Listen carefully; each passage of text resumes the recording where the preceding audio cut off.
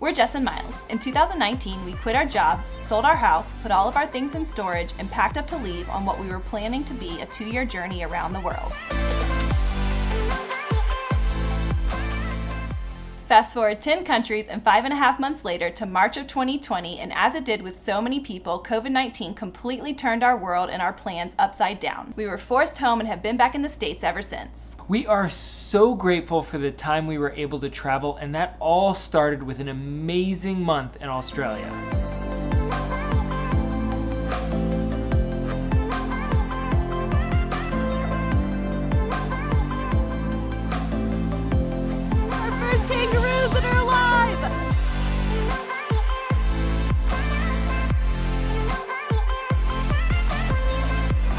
Tasting. Yep, yep, yep.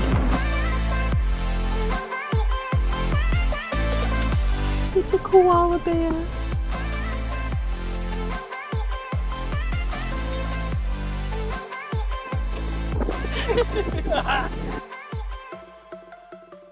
Australia was such a great place to start our journey. Most of our time there was planned out before we left, so it really felt more like a vacation, but that all changed once we made our way to Southeast Asia. After a long layover in Singapore, we made our way to Myanmar with no concrete plans and a quarter of the budget we had in Australia. Over the next four and a half months, we made our way from Myanmar to Thailand, Vietnam, Cambodia, Laos, Malaysia, Indonesia, and then finally the Philippines.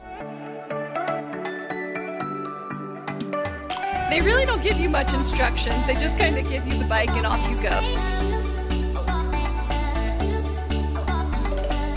Gotta get that Insta shot. Jess was just summoned for a photo by this lovely lady.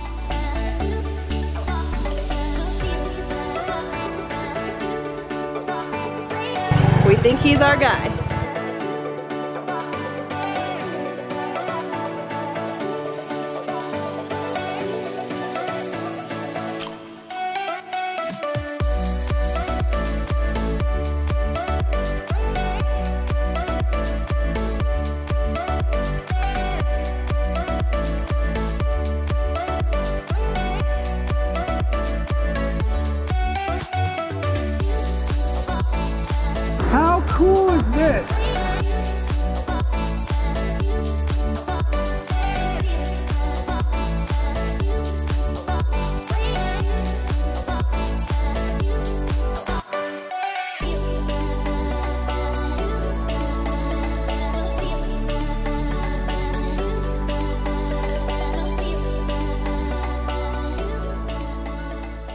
We've been together since college and we have always enjoyed traveling. Our first trip together was actually to Italy back when we were only 20 years old. And as our passion for travel has grown over the years, we've really fallen in love with experiencing new cultures. So we quit our jobs to travel full time and give ourselves the opportunity to follow our passion and experience as much of the world as we can. We created our channel Waypoint of View in order to share our journey around the world.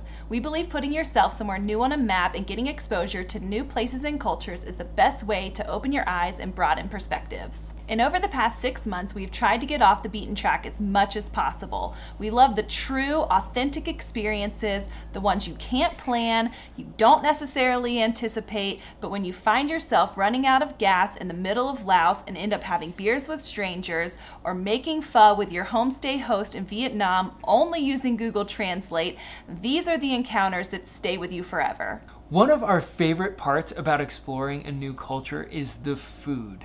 We love going to markets and finding those local spots that don't have English menus. Some of our favorite days were our DIY food tours when we would go around a new place and try as much of the local food as we could. Eating my way through a city might be my favorite way to learn about a new place. We love adventure and pushing ourselves outside of our comfort zones. Whether it's a 400 kilometer motorbike loop in northern Vietnam, hiking to the top of a volcano for sunrise in Bali, four wheel driving on the largest sand island in the world in Australia, or scuba diving in some of the most remote areas in Indonesia. It's tough to beat the feeling you get after trying something you've never done before. But it's always the people that have the most lasting impact on us no matter where we go. We have met some amazing people along the way, mm-hmm. and some of our favorite encounters are when verbal communication just isn't an option. But regardless, we just fumble through with hand gestures, a lot of nodding, smiling, and laughing. But it is amazing the kind of connections you can form with no words at mm-hmm. all. To say that we love travel would be an understatement. Everything we see and experience just makes us want to see more. And while we can't currently travel internationally, there's still so much of our own country we haven't seen. So even though it's not what we originally had planned, we are so excited to explore more of the US and we hope you'll stick around for what's next.